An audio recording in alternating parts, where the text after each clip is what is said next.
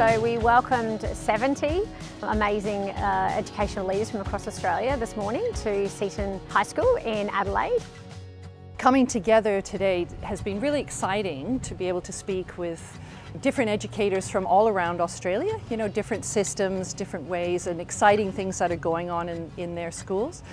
We know that our future of learning and education is not going to be the nine to five job anymore. We know that we need to have find students that have creativity. You know, standard education doesn't really suit some people. We want to engage with the students in a way that they like and how they learn.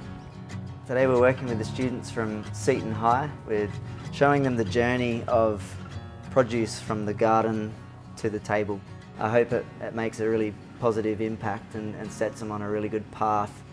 I applaud it when educators and others get together to really invest in thinking about uh, the outcomes they're trying to achieve and the ways that hopefully they can engage their students more in, in their learning journeys and in their learning experience. As educators, it's really important that we keep learning uh, so we can better the way we are interacting and teaching with our students you know, because the world continues to change and it's really important that we are open to educating ourselves if we expect the same from our students.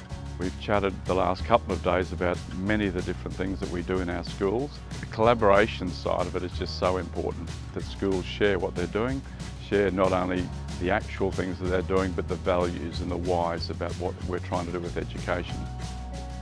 It's been really wonderful being able to be immersed in, in this environment today as a, as a way to kind of, um, you know, cap off what's been a wonderful conference, unconference I should say. yeah.